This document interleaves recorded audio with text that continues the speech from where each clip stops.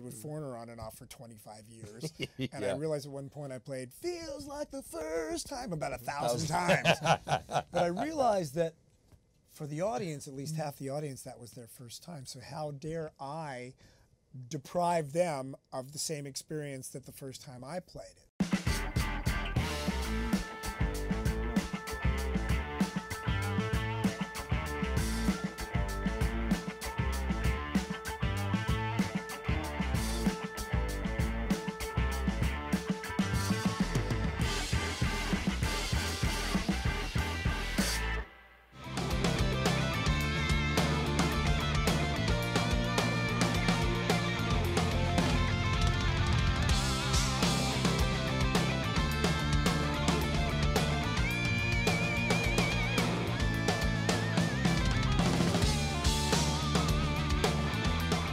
Welcome back to Caffeine TV, EnterTalk.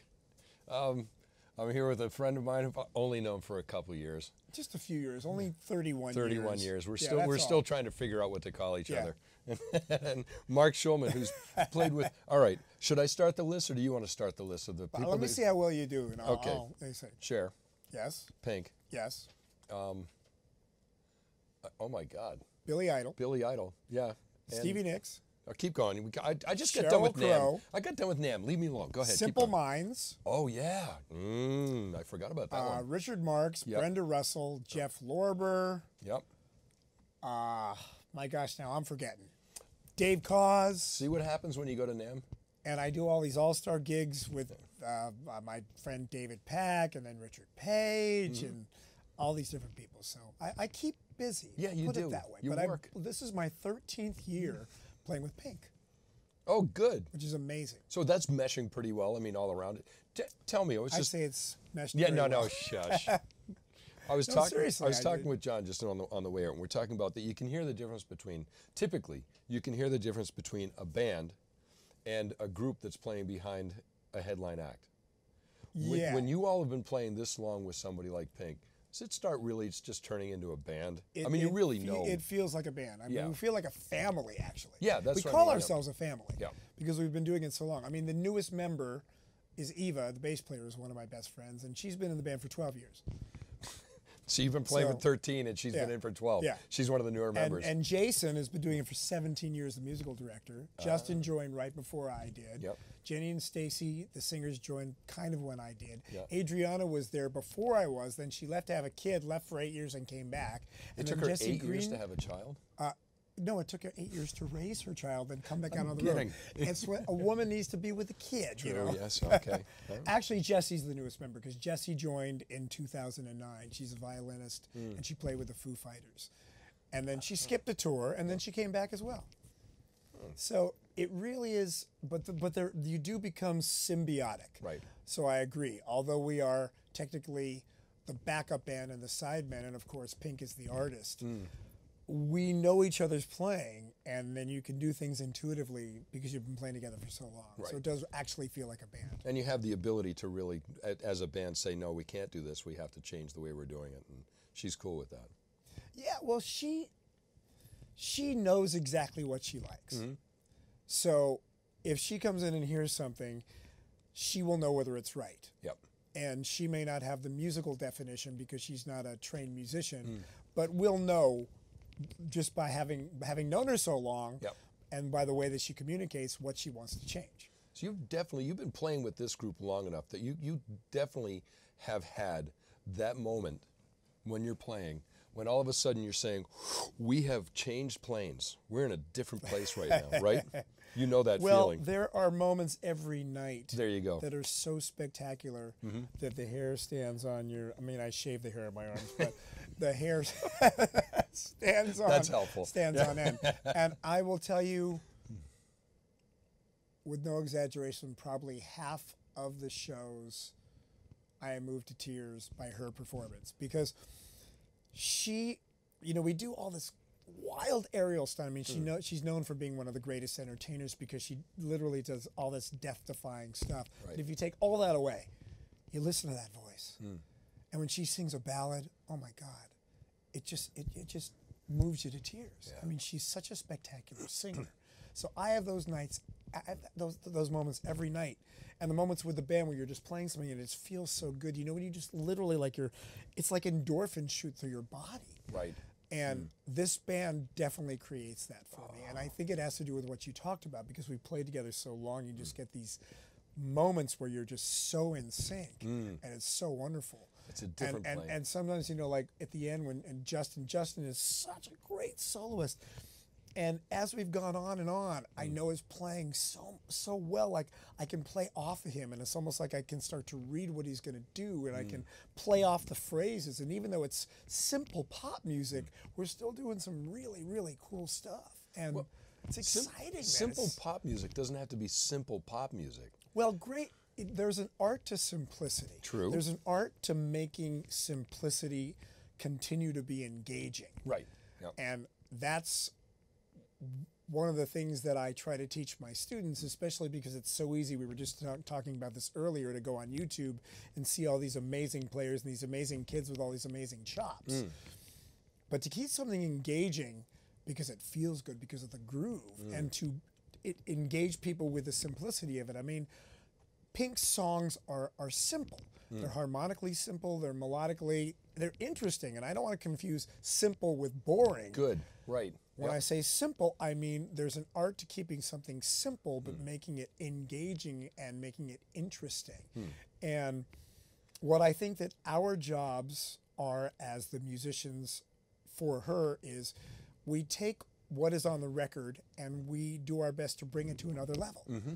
As an example, people ask me if I played on the records. Well, I really haven't because the records are all programmed. So ah. I'm taking programmed drum parts Yeah. that are working great on the record because the production works. It's a style, mm-hmm. and obviously it's working. She's a br- top artist and selling millions of records. Hmm. But then we take that stuff and we put our own interpretation and our own personality hmm. and we sort of drive it to another level and she wants that hmm. great example um, on this record her manager said you know she wants stuff to be a little bit more like the record this time around so um, when we uh, we came in to uh, learn uh, what about us Ah, right. Yeah. so what about us as an example? The drum part, the program part is very simple. It's like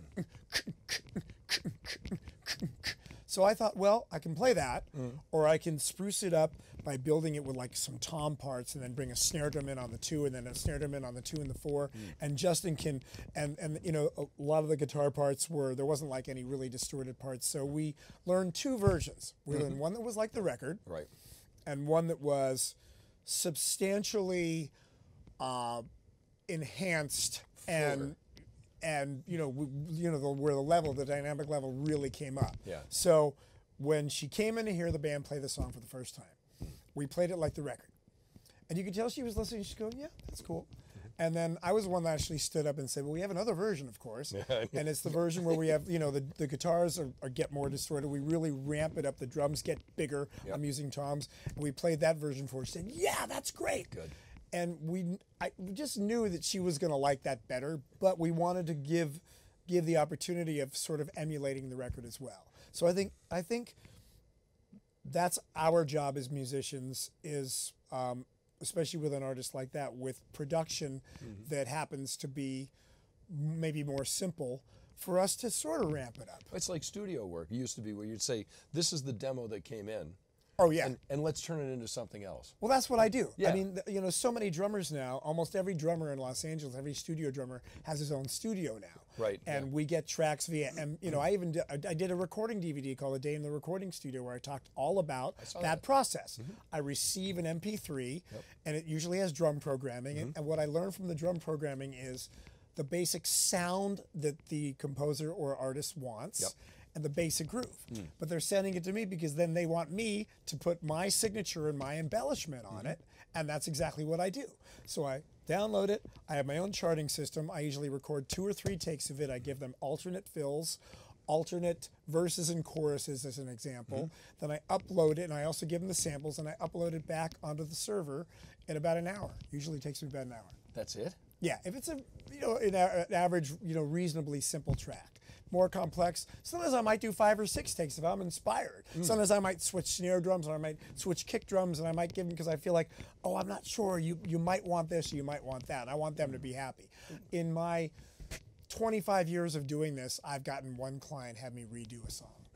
so I, I got a pretty good track record of reading what they want, but that's what we are hired to do. We are mm. hired as the musicians to put our signature mm. and to enhance what they do and embellish it. And I want them to be happy. I mean, if they're not ecstatic, and I can tell, you know, then I'm willing to redo anything because I want the my clients to be happy. Man. Well, uh, they are the Are you paying happy? customer. I, uh, Mark, I'm always happy to hang around with you.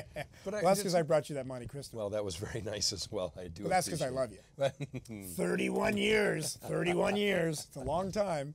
Drummers being different, absolutely from everybody else in the group, right? What are you trying to say? I'm saying we're different. but it's one of the cool parts about being a drummer. Absolutely. Drummers are a tribe. Mm-hmm. We are foundational.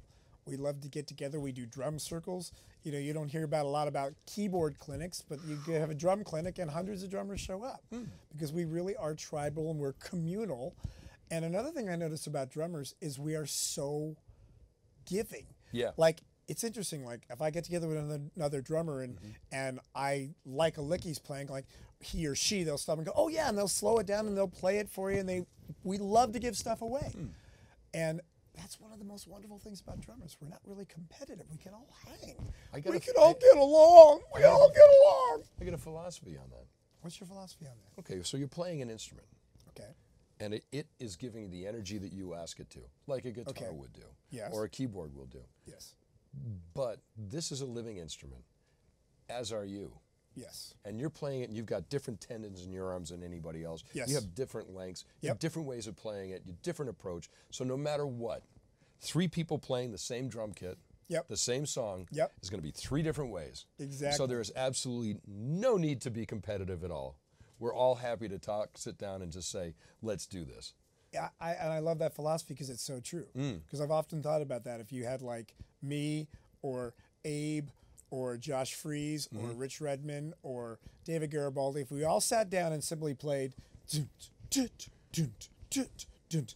the alignment of our limbs, our touch, our feel, where we hit the drums, how we hit the mm-hmm. drums, there's going to be a slight variation, and Right. you'll be able to tell the difference. Oh, yeah. And that's the beauty of that. Would be why, you know, Rich works with he who he works with, mm-hmm. and Josh works with who he works with, and and and and you know, I work with Pink. I used to joke with people. I used to say, because when I was a kid, I wasn't a big Stones fan.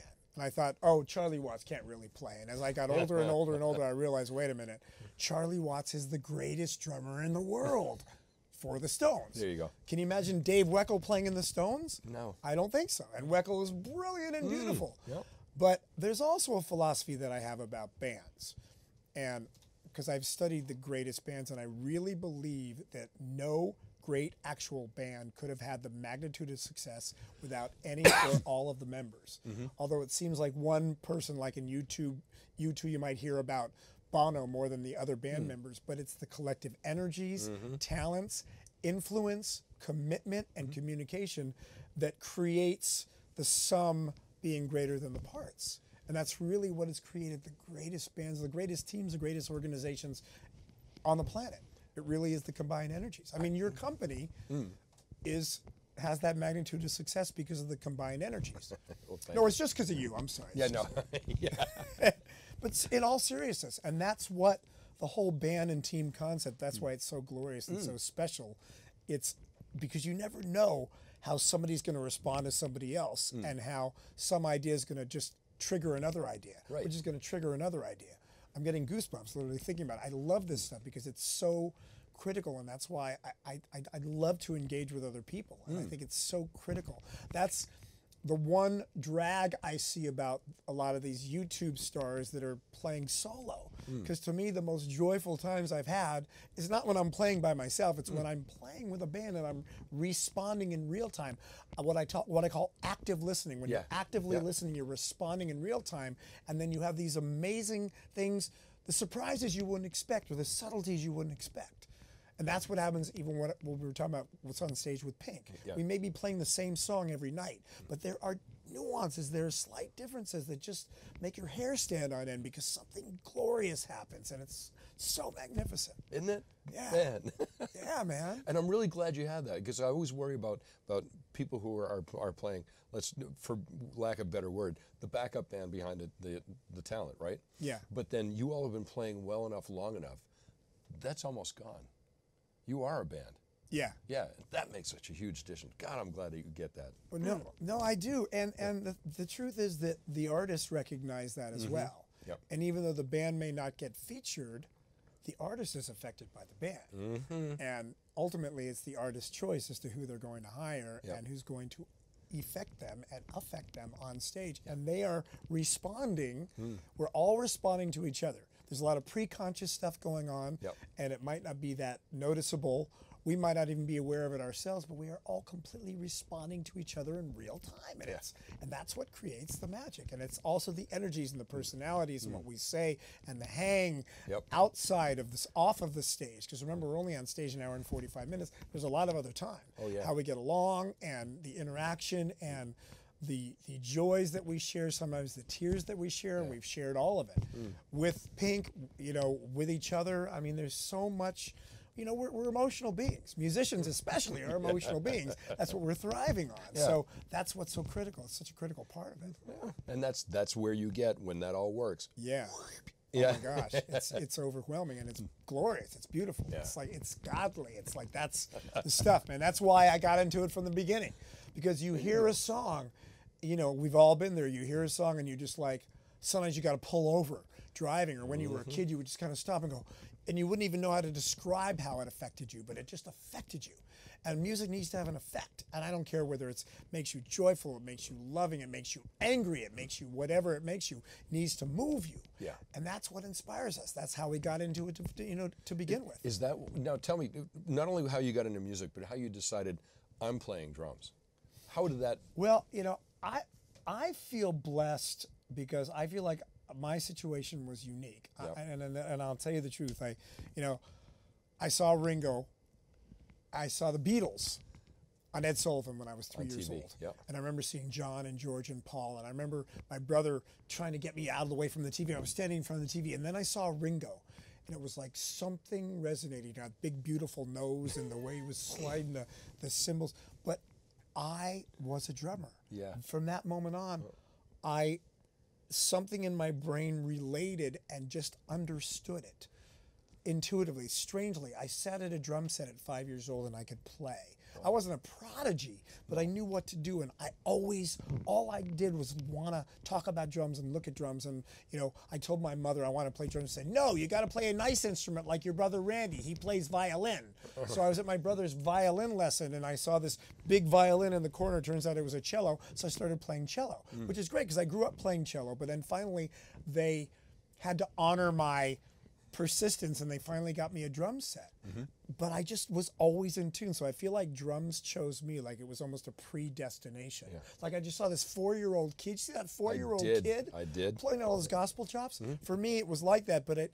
I wasn't nurtured so early, but my parents finally got it. My parents are both college professors, and God bless them. I give them a lot of credit because my bedroom was next to theirs.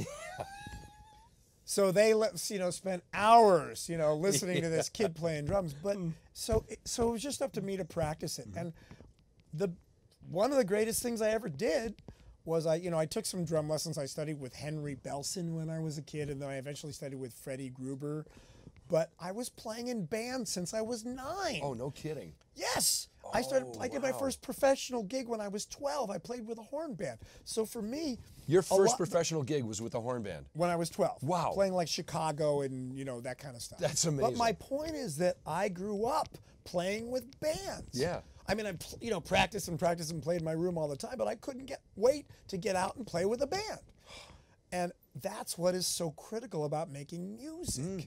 That's so critical about the the concept unless you know are there are a few people there I- there's some youtube stars and, and there's terry Bozzio who puts on a brilliant Mm. and very musical solo drum show but it's also a stage full of percussion Right. and it's very musical But for the rest of us mere mortals, you know, we want to play with bands. Yeah. And that's what I spent my life doing. And I get hired because I know how to play with a band. Hmm. And then I led my own band when I was 21, 22 years old. And then I understood Hmm. uh, even the val- even a greater value of playing less as a drummer and Mm-hmm. understanding the, the whole more than just the parts and not wanting to play every lick that I knew because I could play a lot of licks. I had more licks when I was younger than I do now. I learned the black page when I was 22, you know. but the point is that I learned and I got mature and I realized, well, I can still put a lot of signature on it and I can mm-hmm. love it. But I tell my students, man, until you can go good, good, good, and do that for 15 minutes and love it. Yeah. Love every second of the simple groove.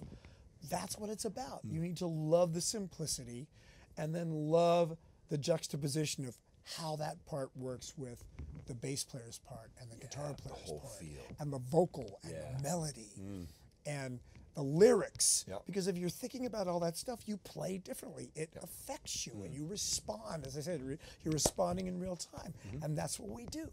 And that's why I'm here. That's why I feel grateful I've worked with some of the greatest artists on the planet, but I believe it's because I really listen and I, and I pay attention to those nuances. And also, my philosophy is that every single note matters. Yeah. I play every it note. does. I play every note like it's the last note I'm ever going to play, like it's like my life depends on Mm. it. I, and not obsessively, but just like I really take what I do very, very seriously. Well, there's it's thing. critical. Passion. When you're playing, you got a passion for it. There's a, talk to my kids about what are the things that, that I need to ha- hear somebody be able to have. If, if they're going to be a good player, they have to have, they have to have talent. Yeah. Like, they have to play well. Well, or you need to practice. You need to- they you refine your right? craft. You you have to be able to take risks. Yes. And if you can't take a risk, yeah. you're just playing karaoke. Yeah. And then the other one is you got to play with passion. Every bit of it has to be something that just drains into you. Absolutely. And oh, it comes out. Man, Well, I'll tell you, I'll, I'm, I'm, I'm going to extend on that theory because Right. my theory goes a level further. I believe there's an evolution of passion because passion can wear off. And if passion wears off, the evolution of passion is purpose because passion is how you play it, purpose is why you play it. So, what I discovered, um, and it's kind of a joke, I played with Foreigner on and off for 25 years. And I realized at one point I played Feels Like the First Time about a thousand times. but I realized that for the audience, at least half the audience, that was their first time. So how dare I deprive them of the same experience that the first time I played it? Right. So that's why I decided if every note matters, hmm. that means I attach a sense of purpose to every note. If I attach a sense of purpose to every note, then I become passionate about every note. Yep. It's the same way I can play, you know, So What by Pink over 600 times and have the 600th time hmm. be as pa- passionate and purposeful as the first time. So passion and purpose sort of feed off of each other. Passion drives purpose, purpose drives passion. It becomes, as Dom Famularo would say, a, a- a it's a cycle of empowerment. ooh, Right? You're pulling Dom out. But it, Yes. is, it's true. It's absolutely. And so that's why I look at every note as mattering because then I attach purpose, right. and that's the evolution. So thinking about this. I haven't think you? a lot about this stuff. I'm a philo- philo- philo- philo- philosopher. well, you're an experienced and good one. So Thank you, it sir. Up. As you are. Yeah. And you're articulate. That's why you have your own show. Congratulations, by the way. Thanks. so okay, I, I we've only got a couple minutes left, so I'm going to hit you with just a couple little quick quick questions. Okay. Top three heroes that are not musicians, Oh, wow. or let's say top three heroes that are not drummers. Well, Make, they're it, easy, make it easy. Well, I mean, we, there, there, there, there are a number of people that I really admire. Um, Gandhi. Um, Yep. um, I'm a big fan. I, I, you know, because I do a lot of what I call uh, activational speaking, because I'm a speaker on the side, I'm a motivational speaker. I admire a lot of really wonderful and powerful thinkers. Um, uh, Napoleon Hill, who wrote Think and Grow Rich, Right, yep. uh, Tony Robbins, uh, Mel Robbins. Um, I'm the biggest Paul McCartney fan on the planet. I got a chance to chat with Paul, and he was so such a beautiful spirit and we talked about our kids the whole time. And when I was done with the conversation, I walked in my dressing room and started bawling my eyes out Yeah. because he was a, a, a bucket list person for me And just a regular human. and just a regular Yeah. human. Who just happened to make gold records. Yeah. Yeah, exactly. Um, I've really admired Obama since even before he was president because I read his first book. Um, I the, the list goes on and on and on. But there are a, a lot of great thinkers and, and, and compassionate people. Um, my uh, the gentleman that's writing my next book on attitude, Dr. Jim Samuels, has been one of my life mentors for 35 years. One of the most high integrity and brilliant thinkers on the planet. And you're getting a chance to work with him now. And I work with him. Well, I've, I've been friends with him for 35 years. Oh, no kidding. We talk every week. Yep. And now we're working together because he's absolutely brilliant. Oh, that's fantastic. Um, so yeah, there's a few. There's a That was more than three, but you know. well, I know now we've run out of time. And Andy Zildjian, of course. Oh, No, I do. I admire you immensely because you are a man of high integrity. You're funny, and you treat people well, and you got grace. So- And you're now you're hosting your own show. just a, a regular guy is what you're saying. Just a regular guy with a beard.